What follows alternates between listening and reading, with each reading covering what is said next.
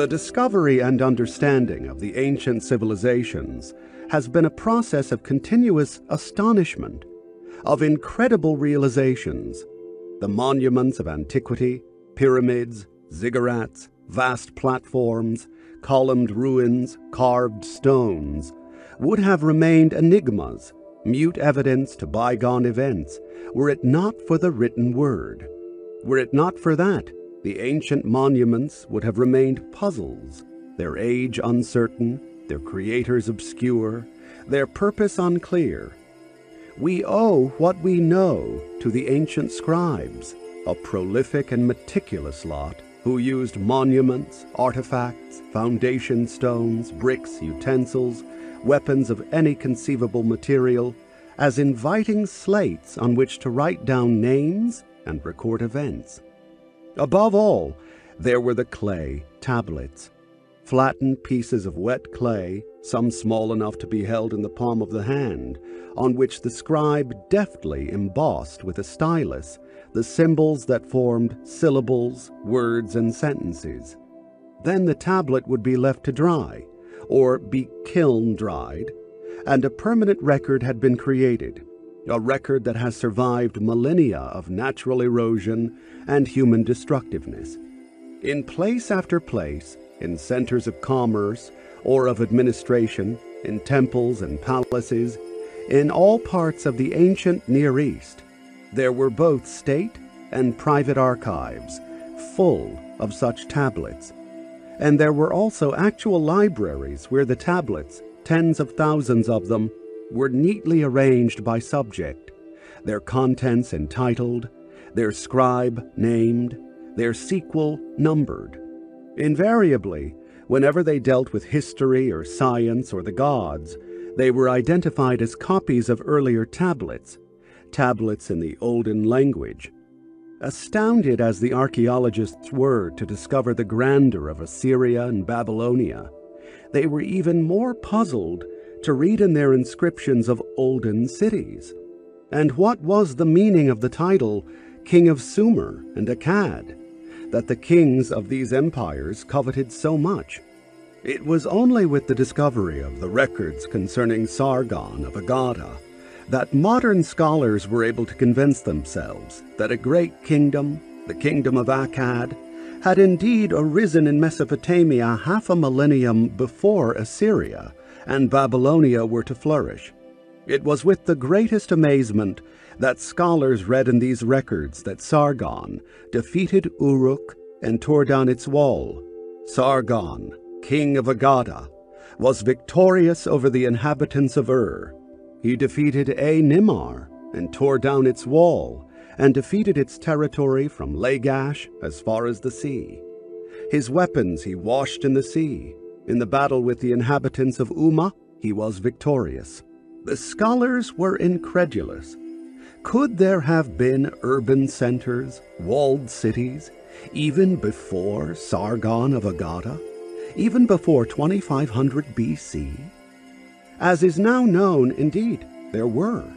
These were the cities and urban centers of Sumer, the Sumer in the title King of Sumer and Akkad. It was, as a century of archaeological discoveries and scholarly research has established, the land where civilization began nearly 6,000 years ago, where suddenly and inexplicably, as though out of nowhere, there appeared a written language and literature. Kings and priests, schools and temples, doctors and astronomers, high rise buildings, canals, docks, and ships, an intensive agriculture, an advanced metallurgy, a textile industry, trade and commerce, laws and concepts of justice and morality, cosmological theories, and tales and records of history and prehistory. In all these writings, be it long epic tales or two line proverbs, in inscriptions mundane or divine, the same facts emerge as an unshakable tenet of the Sumerians and the peoples that followed them.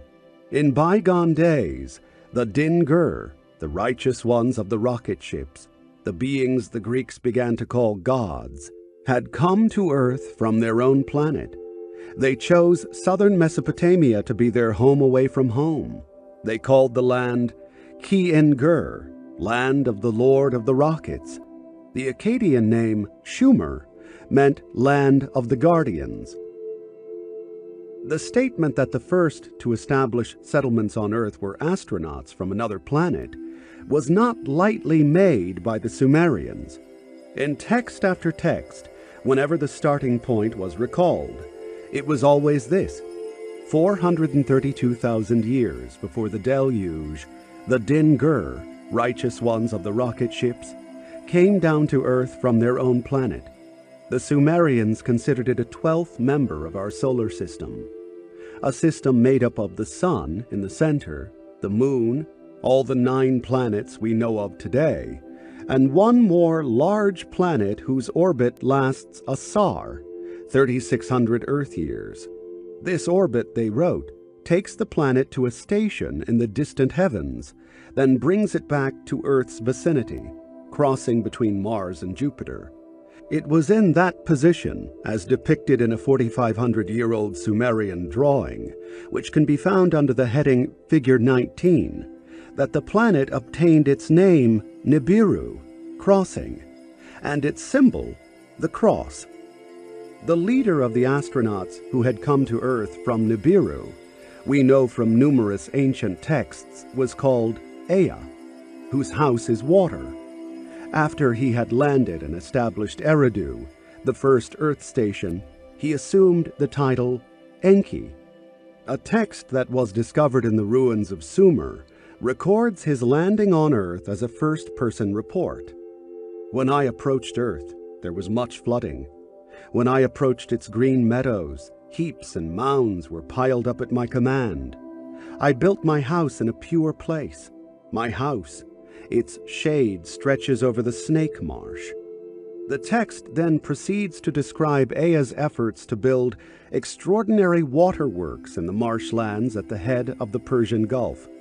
He surveyed the marshlands, cut canals for drainage and water control, built dikes, dug ditches, and built structures of bricks molded from the local clays. He joined the Tigris and Euphrates rivers by canals, and at the edge of the marshlands he built his water house, with a wharf and other facilities. It all had a reason. On his planet, gold was needed, not for jewelry or another frivolous use, for at no time during the millennia that followed were these visitors to Earth ever shown wearing golden jewelry. Gold was no doubt required for the space programs of the Nibiruans, as is evident from the Hindu texts' reference to the celestial chariots being covered with gold.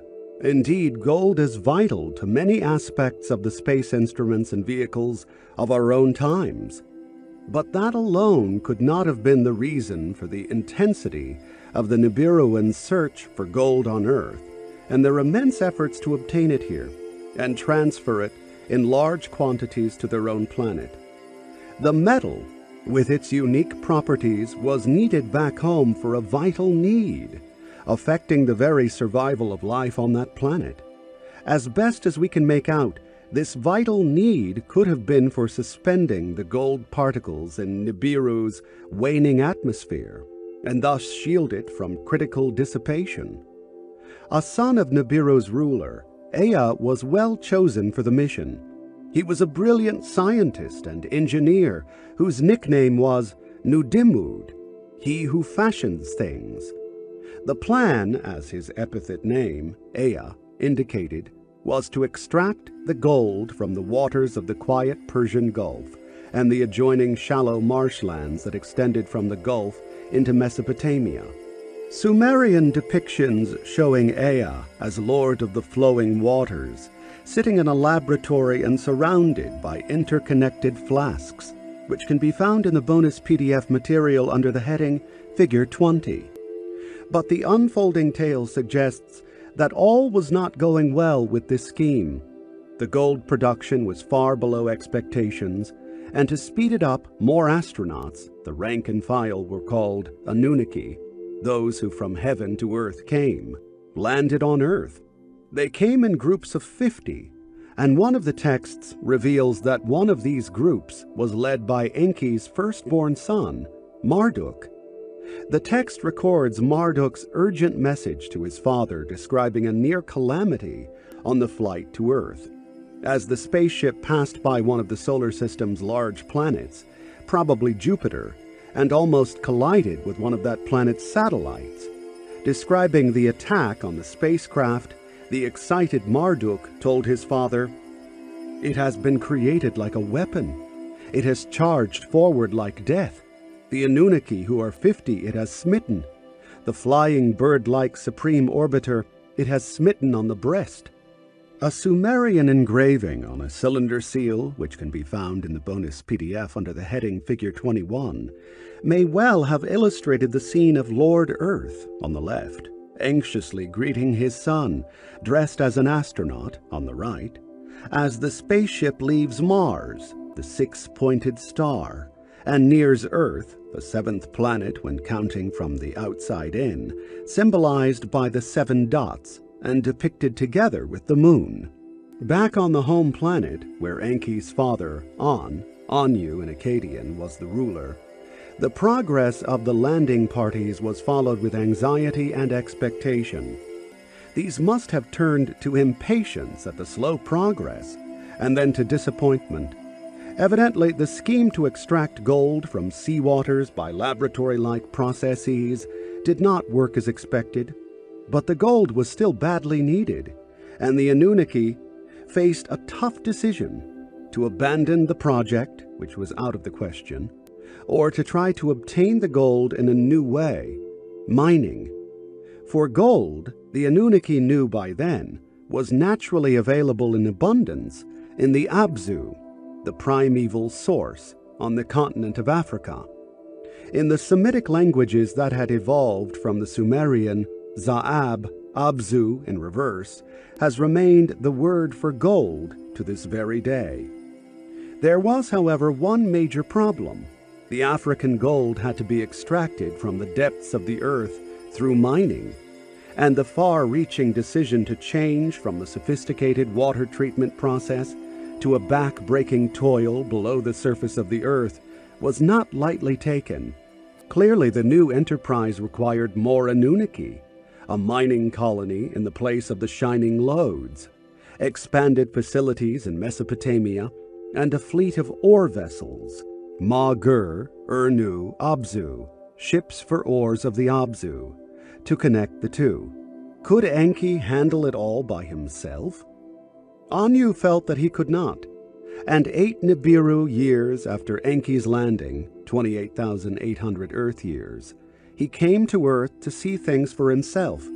He came down accompanied by the heir apparent, Enlil, Lord of the Command, a son who Anu must have felt could take charge of Earth mission and organize the gold deliveries to Nibiru.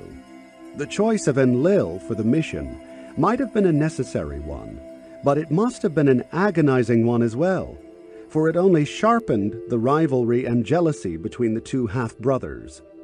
For Enki was the firstborn son of Anu by Id, one of his six concubines, and could have expected to follow Anu on Nibiru's throne. But then, as in the biblical tale of Abraham, his concubine Hagar and his half-sister wife Sarah, Anu's half-sister wife Antum bore him a son, Enlil, and by the Nibiruan rules of succession, so faithfully adopted by the biblical patriarch, Enlil became the legal heir instead of Enki. And now this rival, this robber of Enki's birthright, came to Earth to take over the command. One cannot stress enough the importance of lineage and genealogy in the wars of the gods, the struggles for succession and supremacy on Nibiru as on Earth later on.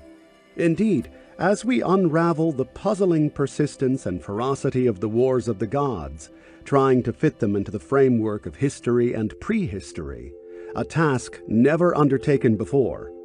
It becomes clear that they stemmed from a code of sexual behavior based not on morality, but on considerations of genetic purity. At the core of these wars lay an intricate genealogy that determined hierarchy and succession, and sexual acts were judged not by their tenderness or violence, but by their purpose and outcome. There is a Sumerian tale of how Enlil, commander-in-chief of the Anunnaki, took a fancy to a young nurse whom he saw swimming naked in the river. He persuaded her to go sailing with him and made love to her against her protestations. My vulva is small, it knows not intercourse. In spite of his rank, Enlil was arrested by the fifty senior gods as he returned to his city Nippur, and was found by the seven Anunnaki who judge to have committed the crime of rape. They sentenced him to exile in the Abzu. He was pardoned only when he married the young goddess, who had followed him into exile. Many songs celebrated the love affair between Inanna and a young god named Dumuzi, in which their sleep-outs were described with touching tenderness. Oh, that they put his hand in my hand for me. Oh, that they put his heart next to my heart for me. Not only is it sweet to sleep hand in hand with him, sweetest of sweet is also the loveliness of joining heart to heart with him. We can understand the approving tone of the verse because Dumuzi was the intended bridegroom of Inanna, chosen by her with the approval of her brother, Utu, Shamash. But how to explain a text in which Inanna describes passionate lovemaking with her own brother? My beloved met me, took his pleasure of me, rejoiced together with me. The brother brought me to his house, made me lie on its sweet bed. In unison, the tongue making in unison, my brother of fairest face, made fifty times. This can only be understood if we bear in mind that the code prohibited marriage, but not lovemaking, between full brother and sister. On the other hand, marriage with a half-sister was allowed. Male progeny by a half-sister even had precedence in the hierarchical order. And while rape was condemned, sex even irregular and violent, was condoned if done for the sake of succession to the throne. A long tale relates how Enki, seeking a male son by his and Enlil's half-sister Sud, forced his attentions on her when she was alone and poured the semen in the womb. When she gave birth to a daughter, rather than to a son, Enki lost no time making love to the girl as soon as she became young and fair, and took his joy of her he embraced her, lay in her lap. He touches the thighs. He touches the... With the young one, he cohabits. This went on unabashedly with a succession of young daughters, until Sud put a curse on Enki, which paralyzed him. Only then did these sexual antics in search of a male heir stop. When Enki engaged in these sexual efforts, he was already espoused to Ninki, which illustrates that the same code which condemned rape did not prohibit extramarital affairs per se. We also know that the gods were allowed any number of wives and concubines, but if married, they had to select one as their official spouse, preferring, as we have mentioned, a half-sister for this role. If the god, apart from his given name and many epithets, was also bestowed with a title name, his official consort was also honored with the feminine form of such title. Thus, when An received his title name, the heavenly, his consort was called Antu, Anu, and Antum in Akkadian. The nurse who had married Enlil, Lord of Command, received the title name Ninlil, Lady of Command. Enki's spouse, Damkina, was also called Ninki, and so on. Because of the importance of the family relationships between these great Anunnaki, many so-called god lists prepared by ancient scribes were genealogical in nature. In one such major list, titled by the ancient scribes the An, Ilu Anum series, there are listed the 42 foreparents of Enlil, clearly arranged as 21 divine couples, this must have been a mark of great royal lineage, for two similar documents for Anu also list his 21 ancestral couples on Nibiru. We learn that the parents of Anu were Anshargal, great prince of heaven, and Kishargal, great princess of firm ground. As their names indicate, they were not the reigning couple on Nibiru. Rather, the father was the great prince, meaning the heir apparent, and his spouse was a great princess, the firstborn daughter of the ruler by a different wife, and thus a half-sister of Anshargal. In these genealogical facts lies the key to the understanding of the events on Nibiru before the landing on Earth, and on Earth thereafter.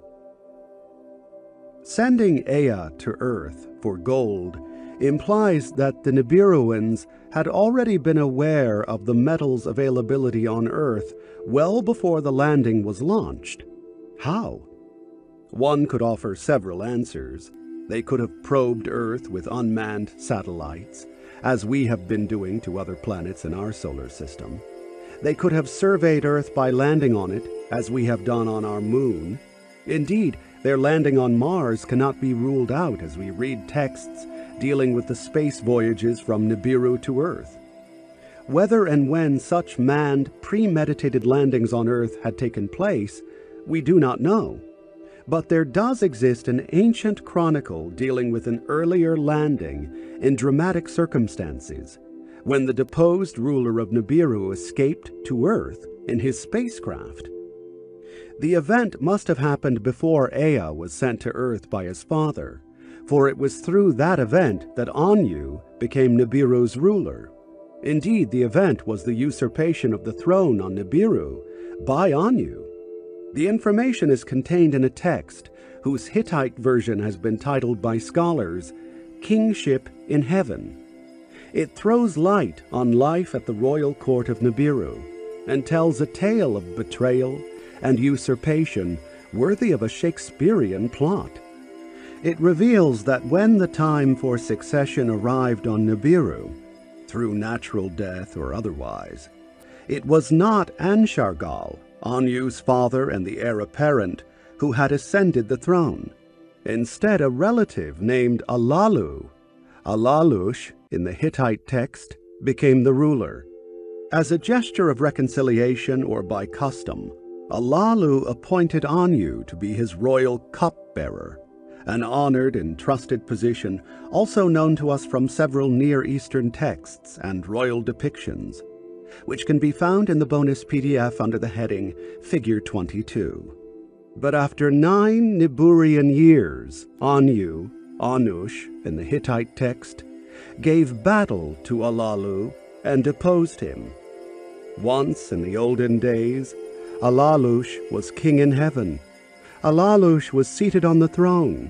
The mighty Anush, first among the gods, was standing before him.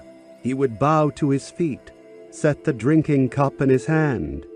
For nine counted periods, Alalush was king in heaven. In the ninth counted period, Anush gave battle to Alalush.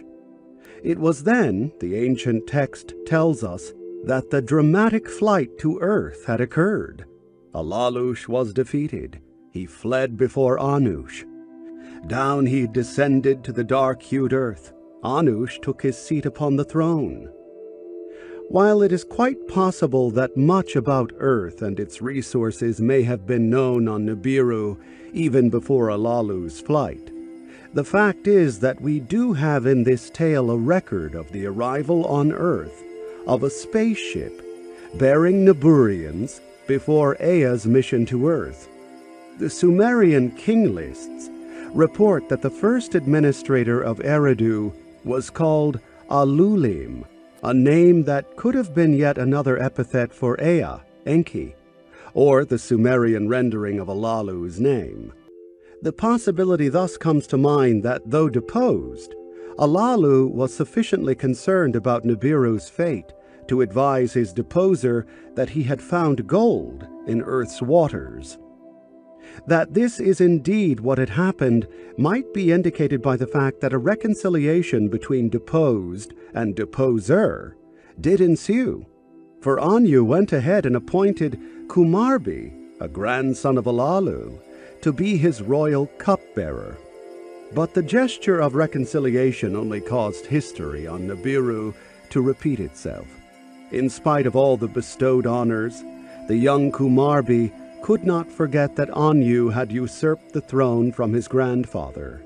And as time went on, Kumarbi's enmity toward Anu was becoming more and more obvious, and Anu could not withstand the gaze of Kumarbi's eyes. And so it was that, having decided to leave Nibiru for Earth, and even take the heir apparent Enlil with him, Anu deemed it safer also to take along the young Kumarbi. Both decisions, to take Enlil with him and to take Kumarbi along, ended up making the visit one marred by strife and, for Anu, also filled with personal agony. The decision to bring Enlil to Earth and put him in charge led to heated arguments with Enki, arguments echoed in the texts so far discovered. The angry Enki threatened to leave Earth and return to Nibiru. But could he be trusted not to usurp the throne there? If, as a compromise, Anu himself were to stay on Earth, appointing Enlil as surrogate ruler on Nibiru, could Enlil be trusted to step down when Anu returned? Finally, it was decided to draw lots, let chance determine how it shall be. The division of authority that ensued is repeatedly mentioned in Sumerian and Akkadian texts. One of the longest of the Earth Chronicles, a text called the Atrahasis Epic, records the drawings of lots and its outcome. The gods clasped hands together, then cast lots and divided. Anu to heaven went up. To Enlil the earth was made subject. That which the sea as a loop encloses, they gave to the prince Enki. To the Abzu Enki went down, assumed the rulership of the Abzu. Believing that he had managed to separate the rival brothers, Anu to heaven went up. But in the skies above earth, an unexpected turn of events awaited him. Perhaps as a precaution, Kumarbi was left on the space platform orbiting Earth. When Anu returned to it, ready to take off on the long voyage back to Nibiru, he was confronted by an angry Kumarbi. Harsh words soon gave way to a scuffle, Anu gave battle to Kumarbi, Kumarbi gave battle to Anu. As Kumarbi bested Anu in the wrestling, Anu struggled free from the hands of Kumarbi. But Kumarbi managed to grab Anu by his feet and bit between his knees, hurting Anu in his manhood. Ancient depictions were found of the event, which can be found in the bonus PDF under the heading Figure 23a as well as of the habit of wrestling Anunnaki, which can be found in the bonus PDF under the heading Figure 23b, to hurt one another in the genitals. Disgraced and in pain, Anu took off on his way to Nibiru, leaving Kumarbi behind with the astronauts manning the space platforms and shuttlecraft. But before he departed, he put on Kumarbi a curse of three monsters in his belly. The similarity of this Hittite tale to the Greek tale of the castration of Uranus by Kronos and the swallowing by Kronos of his sons needs no elaboration.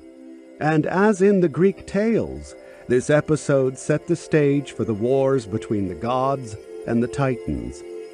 After Anu had left, Earth mission was launched in earnest. As more Anunnaki landed on Earth, their number rose in time to 600. Some were assigned to the lower world to help Enki mine the gold. Others manned the ore ships, and the rest stayed with Enlil in Mesopotamia. There, additional settlements were established in accordance with a master plan laid out by Enlil as part of a complete organizational plan of action and clear cut procedures.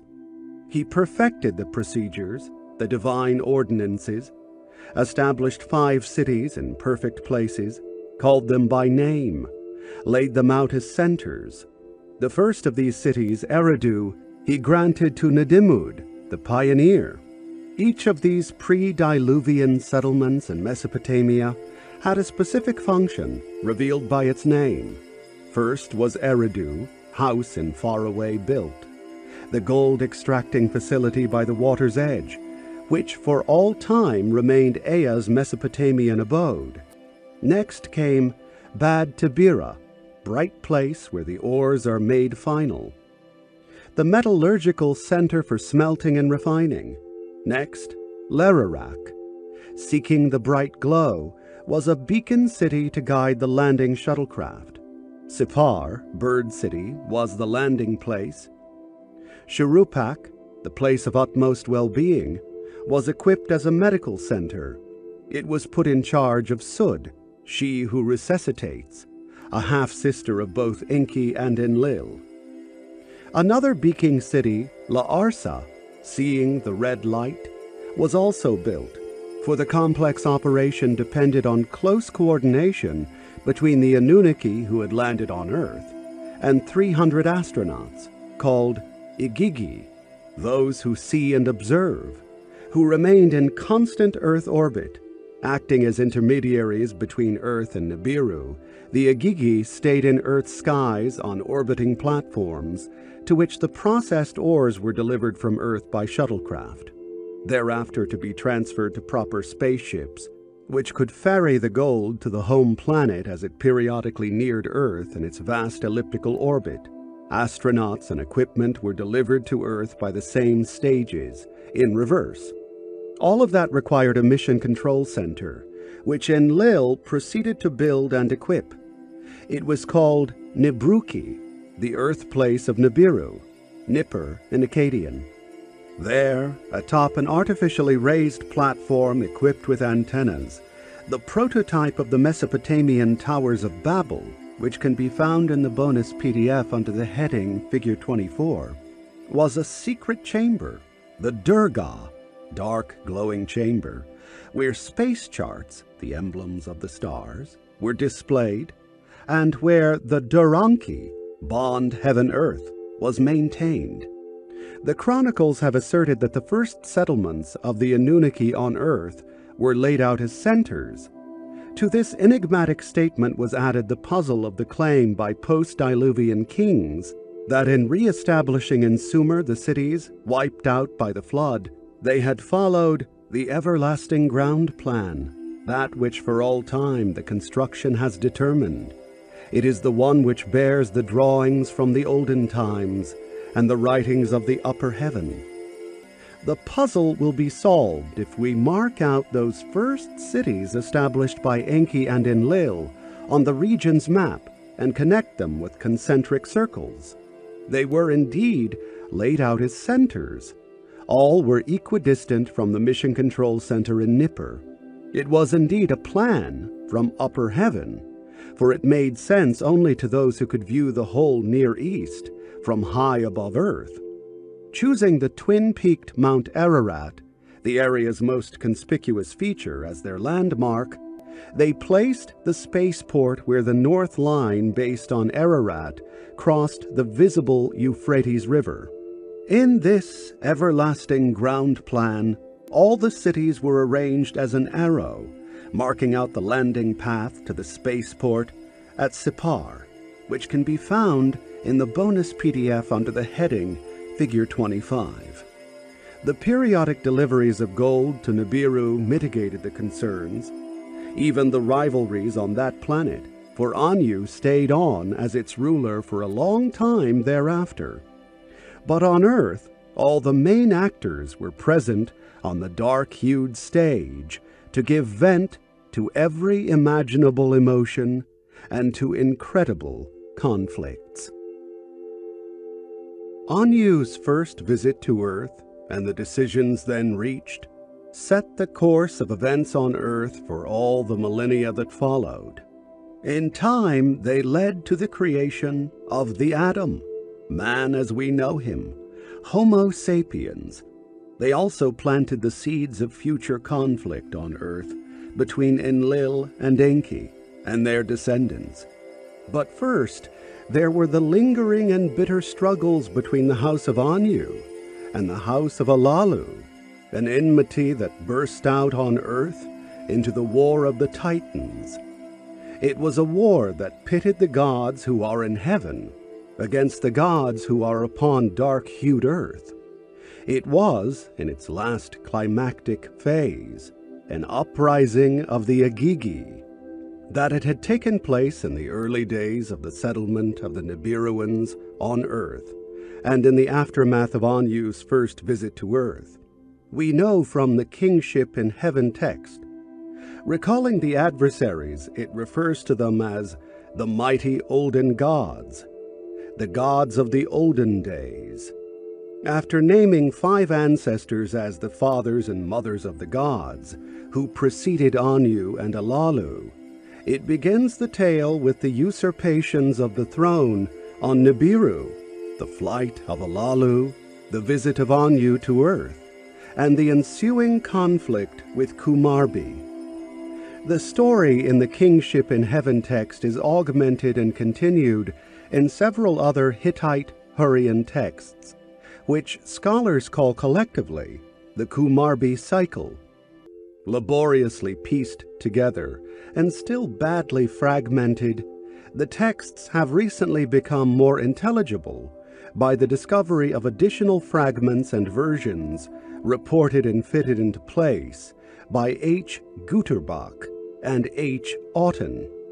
How long Kumarbi remained aloft after the fight with Anu is not clear from these texts. We do learn that after the passage of some time, and after Kumarbi managed to spit out the stones that Anu caused to grow in his belly, Kumarbi came down to earth. For reasons that may have been explained in missing parts of the texts, he went to Ea in the Abzu. Mutilated verses then deal with the appearance on the scene of the storm god Teshub, who, according to the Sumerians, was Enlil's youngest son, Ishkur, Adad. The storm god annoys Kumarbi by telling him of the wonderful attributes and objects that each god will grant him, Teshub. Among these attributes shall be wisdom, which shall be transferred away from Kumarbi. Filled with fury, Kumarbi went to Nippur. Breaks in the texts leave us ignorant as to what went on there at Enlil's headquarters but after a stay of seven months, Kumarbi went back to consult with Ea. Ea suggested that Kumarbi ascend to heaven and seek the help of Lama, who was mother of the two gods, and thus apparently an ancestral matriarch of the two contesting dynasties. With some self-interest, Ea offered to transport Kumarbi to the celestial abode in his Margida, celestial chariot, which the Akkadians called Tiia Rita, the flying vehicle. But the goddess, having found out that Ea was coming without the permission of the assembly of the gods, sent lightning winds against Ea's spacecraft, forcing him and Kumarbi to return to Earth.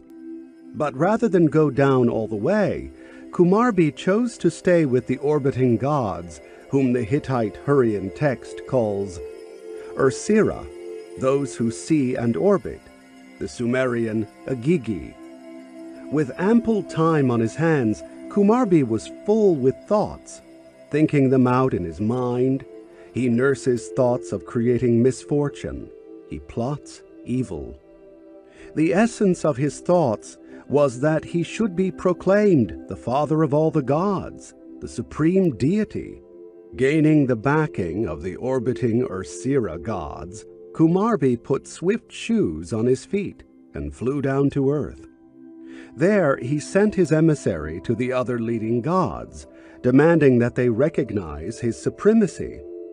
It was then that Anu decided that enough was enough, to vanquish once and for all the grandson of his adversary Alalu. Anu ordered his own grandson, the storm god Teshub, to find Kumarbi and kill him. Ferocious battles then ensued between the terrestrial gods led by Teshub and the skyborn gods led by Kumarbi. In one battle alone, no less than 70 gods participated, all riding in celestial chariots. Though most battle scenes are lost in the damaged text, we know that in the end, Teshub had prevailed. But the defeat of Kumarbi did not end the struggle. We learn from additional Hittite epic tales in the Kumarbi cycle that before his demise, Kumarbi managed to impregnate a goddess of the mountain with his seed, leading to the birth of his avenger, the stone god Ullikummi, as he hid his marvelous or monstrous son among the Ursira gods.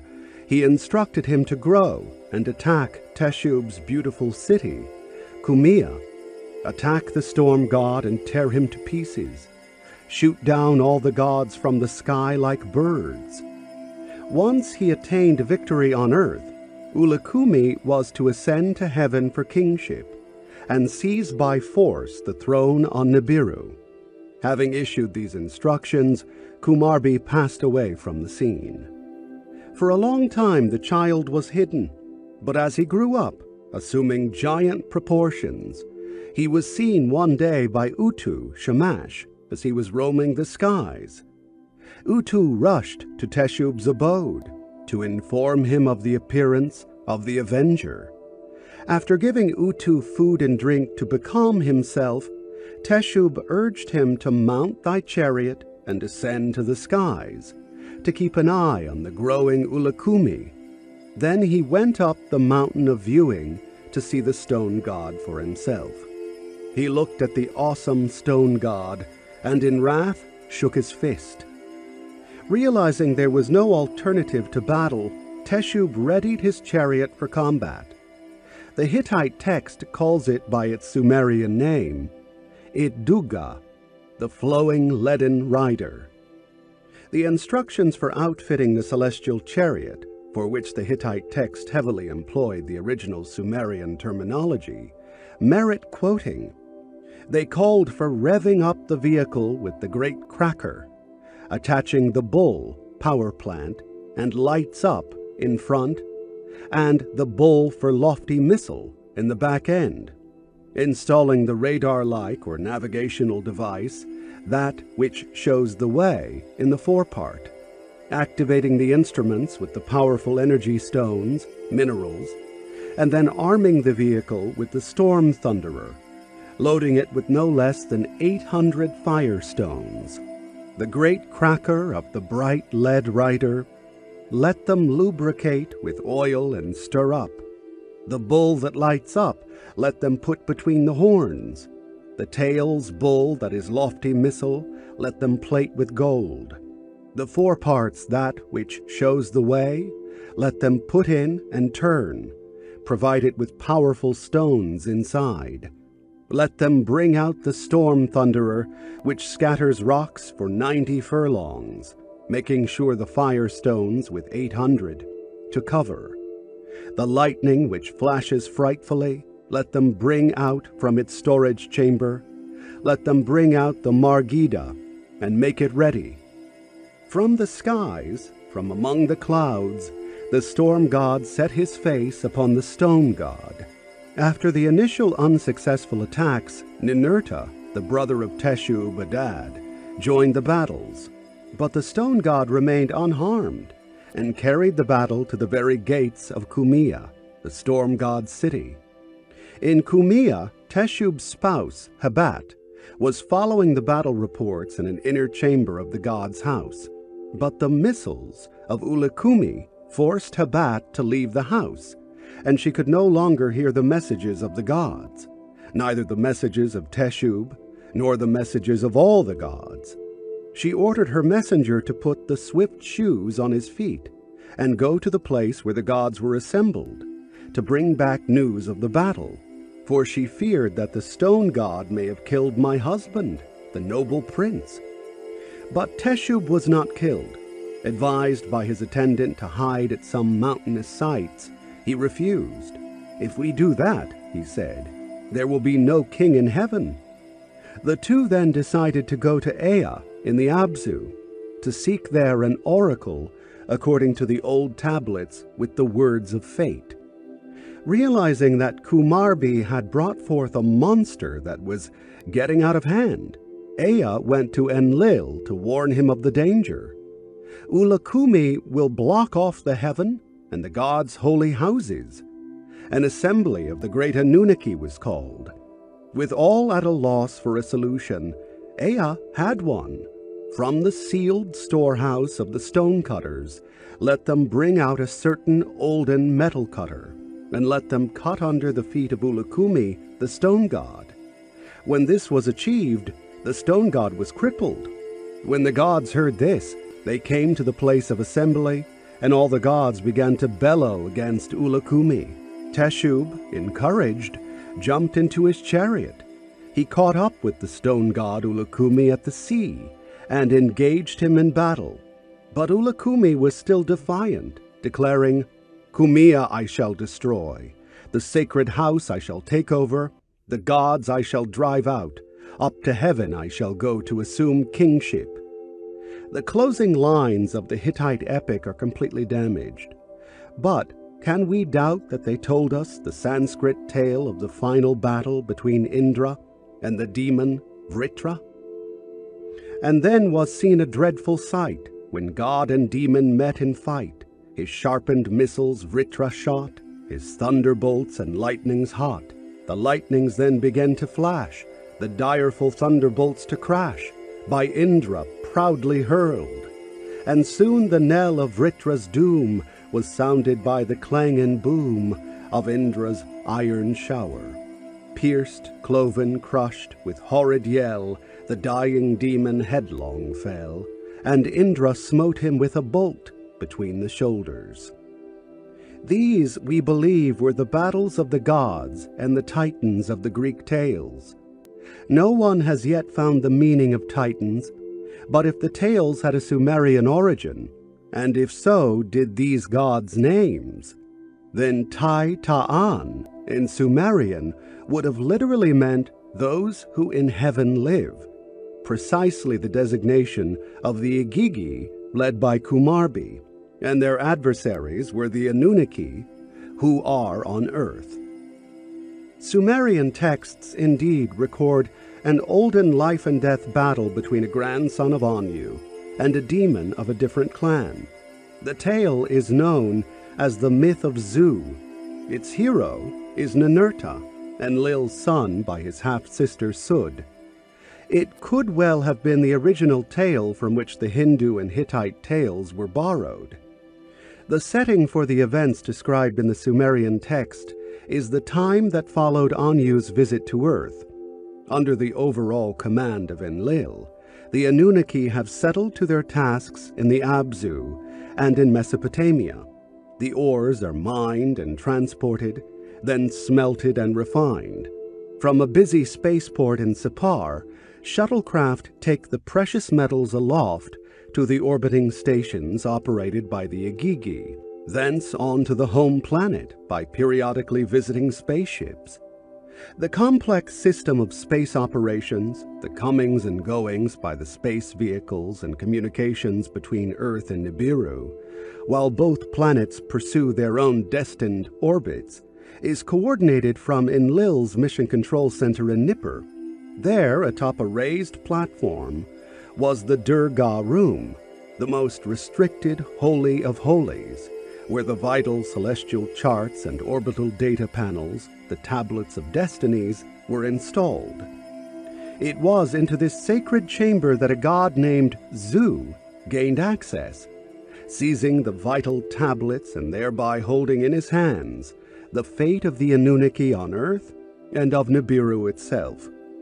By combining portions of Old Babylonian and Assyrian versions of the Sumerian text, a good deal of the tale has been restored, but damaged portions still held the secret of Zu's true identity, as well as an explanation of how he had gained access to the Dirga. Only in 1979 did two scholars come up with the answer by using a tablet found in the Babylonian collection of Yale University to reconstruct the beginning of the ancient tale. In Sumerian, the name Zu meant he who knows, one expert in certain knowledge. Several references to the evil hero of this tale, as Anzu, he who knows the heavens, suggest a connection with the space program that had linked Earth with Nibiru. And the now restored beginning of the chronicle indeed relates how Zu, an orphan, was adopted by the astronauts who manned the shuttlecraft and orbiting platforms, the Igigi, learning from them the secrets of the heavens and of space travel. The action begins as the Igigi, being gathered from all parts, decided to make an appeal to Enlil. Their complaint was that, until that time for the Igigi, a break taking place had not yet been built. In other words, there simply was no facility on Earth for the rest and recreation of the Igigi, where they could relax from the rigors of space and its weightlessness.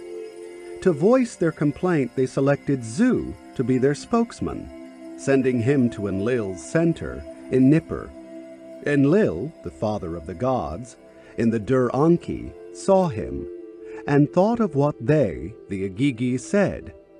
As in his mind he pondered the request, he studied the heavenly Zu closely.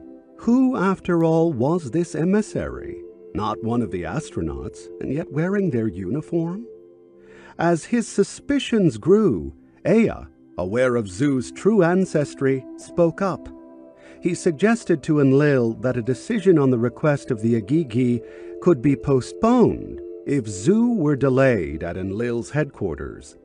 Your service let him enter, Ea said to Enlil. In the sanctuary, to the innermost seat, let him be the one to block the way. To the words that Ea spoke to him, the god Enlil consented. At the sanctuary, Zu took up his position. At the entrance to the chamber, Enlil had assigned him. And so it was with Ea's connivance that an adversary god, a secret descendant of Alalu, was admitted to Enlil's innermost and most sensitive chamber. There, Zu constantly views Enlil, the father of the gods, the god of the bond heaven-earth. His celestial tablet of destinies Zu constantly views. And soon a scheme took shape, the removal of the Enlil ship he conceives in his heart. I will take the celestial tablet of destinies, the decrees of the gods I will govern. I will establish my throne, be master of the heavenly decrees. The Igigi in their space I will command. His heart having thus plotted aggression, Zu saw his chance one day as Enlil went to take a cooling swim. He seized the Tablet of Destinies in his hands, and in his bird took off and flew to safety in the Her-Sag-Mu, mountain of the sky chambers. No sooner had this happened than everything came to a standstill. Suspended were the divine formulas. The lighted brightness petered out. Silence prevailed. In space, the Igigi were confounded. The sanctuary's brilliance was taken off. At first, Father Enlil was speechless. As the communications were restored, the gods on earth gathered one by one at the news. Anu, on Nibiru, was also informed. It was clear that Zu must be captured, and the Tablet of Destinies restored to the Dirga. But who will do it? Several of the younger gods known for their valor were approached, but none dared track Zu to the distant mountain, for he was now as powerful as Enlil, having also stolen the brilliance of Enlil, and he who opposes him shall become as clay. At his brilliance the gods waste away. It was then that Ninurta, Enlil's legal heir, stepped forth to undertake the task. For as his mother Sud had pointed out, Zu deprived not only Enlil, but also Ninurta of the Enlilship. She advised him to attack Zu in his hideaway mountain, also with a weapon of brilliance, but to do so only after he was able to approach Zu behind a dust screen. To achieve the latter, she lent Ninurta her own seven whirlwinds that stir up the dust.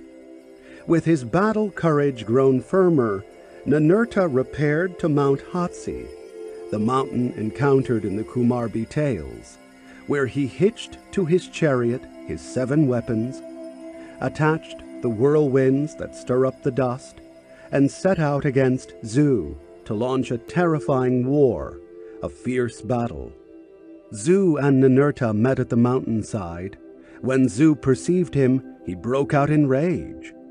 With his brilliance, he made the mountain bright as daylight. He let loose rays in a rage. Unable to identify his challenger because of the dust storm, Zu shouted to Ninurta, I have carried off all authority. The decrees of the gods I now direct. Who are thou to come fight with me? Explain yourself.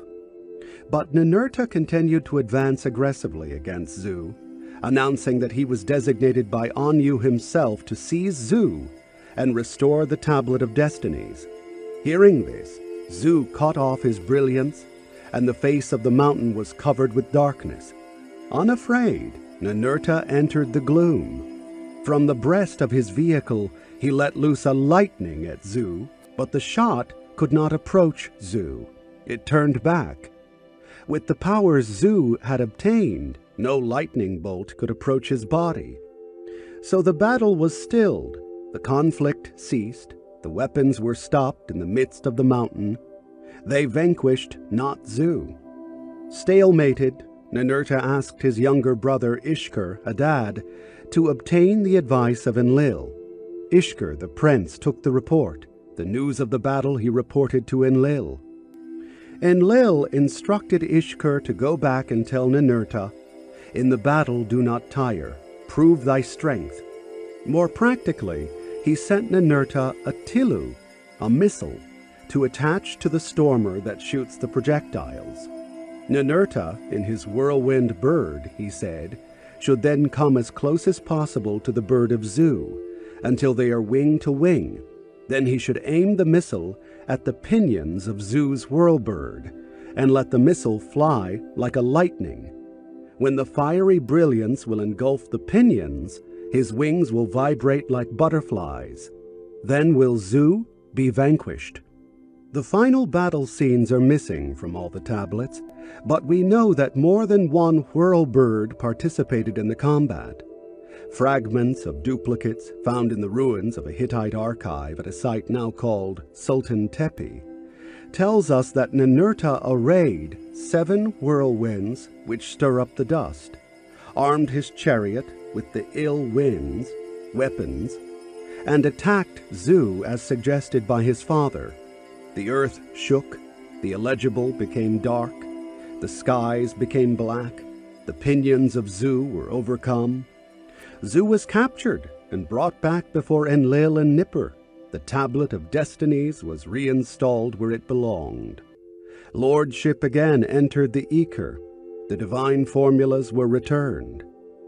The captured Zu was put on trial before a court martial consisting of the seven great Anunnaki. He was found guilty and sentenced to death. Ninurta, his vanquisher, cut his throat.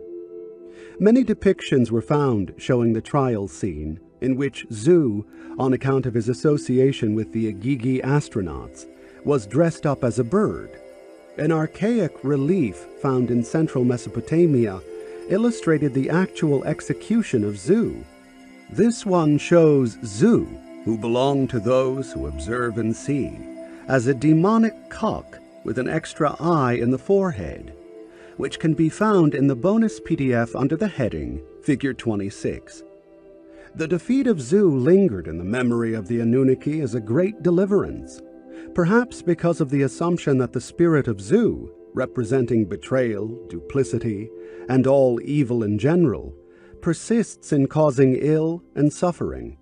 The trial and execution of Zu were transmitted to mankind's generations in the form of an elaborate ritual. In this annual commemoration, a bull was chosen to stand for Zu and atone for his evil deed. Long instructions for the ritual have been found in both Babylonian and Assyrian versions all indicating their earlier Sumerian source. After extensive preparations, a great bull, strong bull who treads upon clean pastures, was brought into the temple and purified on the first day of a certain month. It was then whispered into the bull's left ear through a reed tube, Bull, the guilty Zu are you. And into the right ear, Bull, you have been chosen for the rite and the ceremonies. On the fifteenth day, the bull was brought before the images of the seven gods who judge, and the symbols of the twelve celestial bodies of the solar system. The trial of Zu was then reenacted. The bull was put down before Enlil, the great shepherd. The accusing priest recited rhetorical accusational questions, as though addressed to Enlil. How could you have given the stored treasure to the enemy? How could you have let him come and dwell in the pure place? How could he gain access to your quarters? Then the play acting called for Ea and other gods to beseech Enlil to calm himself, for Ninurta had stepped forward and asked his father, Point my hands in the right direction. Give me the right words of command. Following this recital of the evidence given at the trial, judgment was passed. As the bull was being slaughtered in accordance with detailed instructions, the priests recited the bull's verdict. His liver was to be boiled in a sacrificial kettle, his skin and muscles were to be burned inside the temple, but his evil tongue shall remain outside. Then the priests, playing the roles of the other gods, broke out in a hymn of praise to Ninurta. Wash your hands, wash your hands. You are now as Enlil. Wash your hands. You are as Enlil upon the earth. May all the gods rejoice in you. When the gods looked for a volunteer to fight Zu, they promised the vanquisher of Zu, Thy name shall be the greatest in the assembly of the great gods. Among the gods, thy brothers, thou shalt have no equal. Glorified before the gods, and potent shall be thy name. After Ninurta's victory, the promise had to be kept, but therein was the rub and the seed of future fights among the gods. Ninurta was indeed Enlil's legal heir, but on Nibiru, not on earth. Now, as the commemorative temple ritual makes clear, he was made as Enlil upon earth. We know from other texts dealing with the gods of Sumer and Akkad that their hierarchical order was also expressed numerically. Anu was given the highest number of the Sumerian sexagesimal system, 60. His legal heir Enlil had the rank of 50. The firstborn son and heir in the event of Enlil's demise, Ea, was 40. Now, as the enigmatic statement that Ninurta has become as Enlil attests, he too was given the rank of 50. The partly mutilated ending of the temple ritual text contains the following legible verses O Marduk, for your king speak the words. I release. O Adad, for your king speak the words. I release. We can safely guess that the mutilated lines also included a similar release by Sin of his claim to kingship among the gods and recognition of Ninurta's Enlilship. We know that thereafter, Sin, Enlil's firstborn on earth, held the rank of 30, his son Shamash, 20, and his daughter Ishtar, 15, and Ishkur, Adad and Akkadian, the rank of 10. There is no record of Marduk's numerical rank.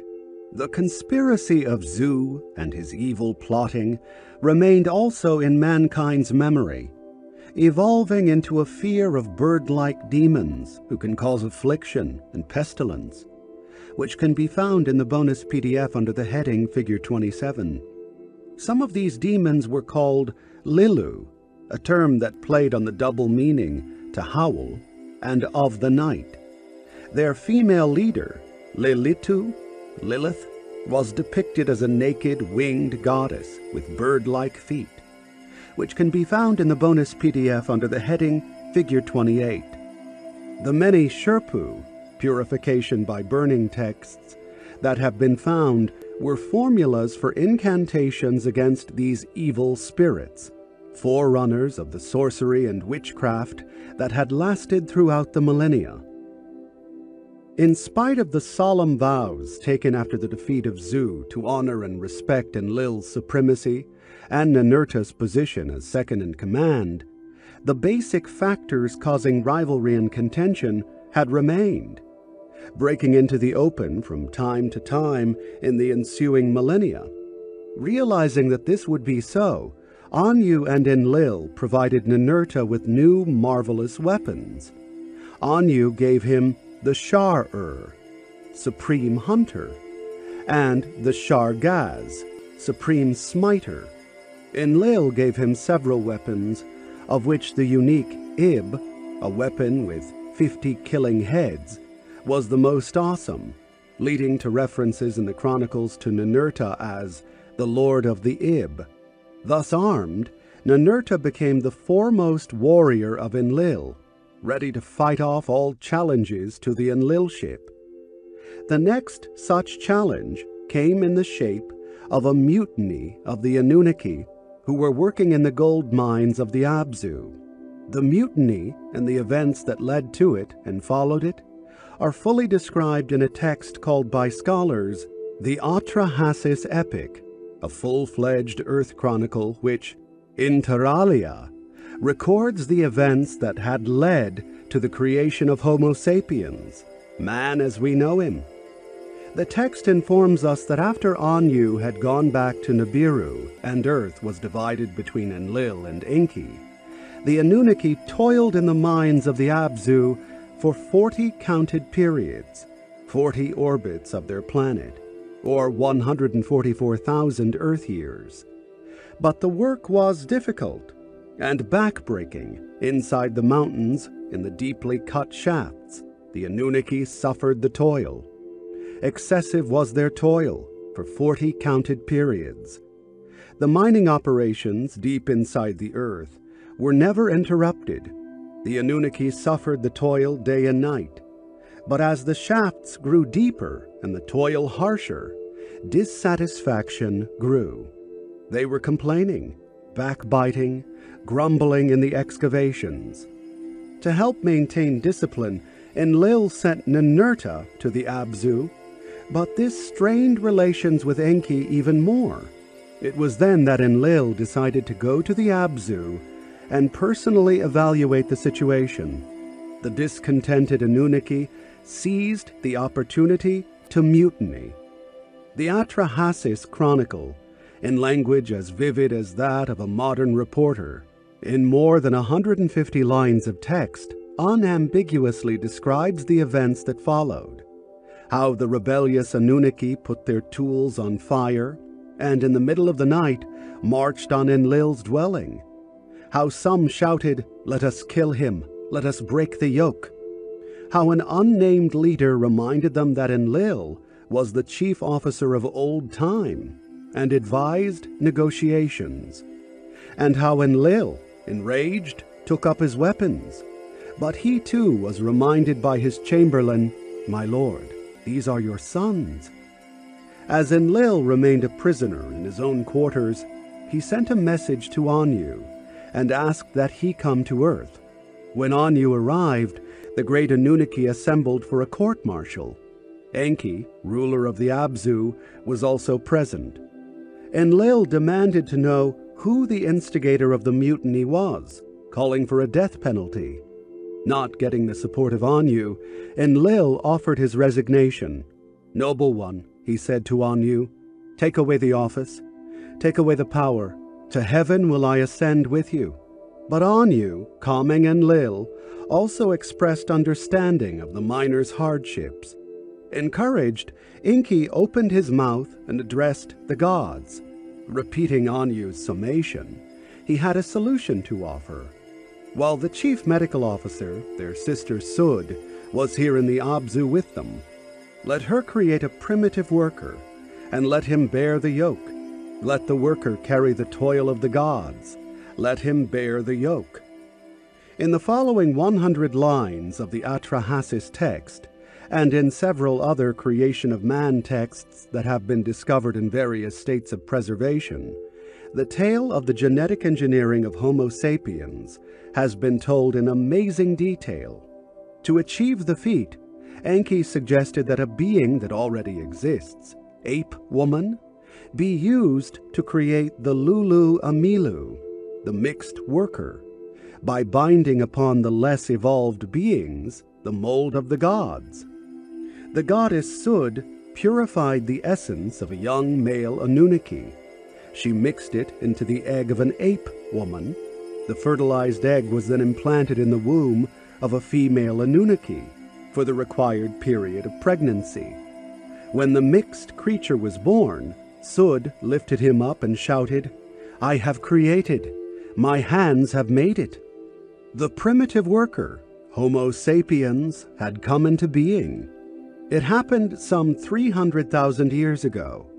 It came about through a feat of genetic engineering and embryo implant techniques which mankind itself is beginning to employ. There has undoubtedly been a long process of evolution, but then the Anunnaki had taken a hand in the process and jumped the gun on evolution, creating us sooner than we might have evolved on our own. Scholars have been searching for a long time for the missing link in man's evolution. The Sumerian texts reveal that the missing link was a feat of genetic manipulation performed in a laboratory it was not a feat over and done with in an instant. The texts make clear that it had taken the Anunnaki considerable trial and error to achieve the desired perfect model of the primitive worker. But once achieved, a mass production process was launched. Fourteen birth goddesses at a time were implanted with the genetically manipulated ape women eggs, seven to bear male and seven to bear female workers. As soon as they grew up, the workers were put to work in the mines, and as their numbers grew, they assumed more and more of the physical chores in the Abzu. The armed clash between Enlil and Enki that was soon to take place, however, was over these same slave laborers. The more the production of ores improved in the Abzu, the greater was the workload on the Anunnaki that had remained to operate the facilities in Mesopotamia. The climate was milder, rains were more plentiful, and the rivers of Mesopotamia were constantly overflowing. Increasingly, the Mesopotamian Anunnaki were digging the river, raising dikes, and deepening the canals. Soon they too began to clamor for the slave workers, the creatures of bright countenance, but with thick black hair. The Anunnaki stepped up to Enlil, black-headed ones they were requesting of him, to the black-headed people to give the pickaxe to hold.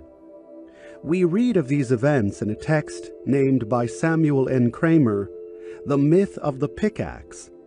Though portions are missing, it is understood that Enki refused Enlil's request for the transfer of primitive workers to Mesopotamia.